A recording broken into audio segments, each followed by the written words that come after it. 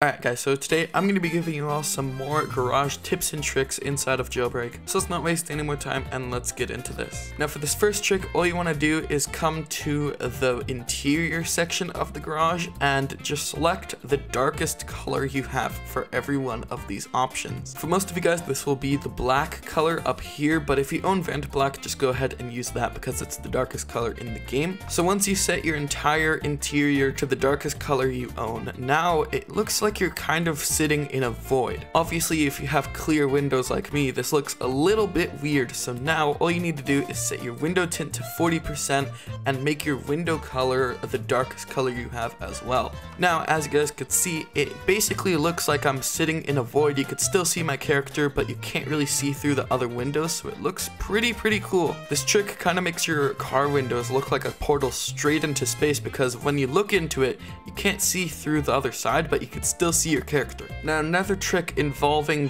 voids, black holes, and death, if you come over here to the headlight color and you make it black or Vanta black, you guys could see that once I turn it on, it kind of looks like the headlights were just ripped off and replaced with like a black sticker. Or if you're someone weird like me, you would probably call this a void, a black hole, or death. But either way, it is still a pretty cool trick, and obviously it does not look the best on some vehicles, but it still looks pretty good on the others. If you've ever wondered what a spoiler or rim looks like with the default color, this trick will allow you to do that. As some of you guys may know already, some spoilers in Jailbreak have like a preset color, and most of you guys don't know how they usually look like because there isn't a default color option. But if you go over to spoiler color and you set it to white, that'll make all those spoilers with the preset colors look look how they were meant to look like. So as you guys can see, I have the trade sale spoiler equipped right now, and this is not how it usually looks like, but if I set it to white, as you guys could see, it's colored the exact same as it's supposed to now.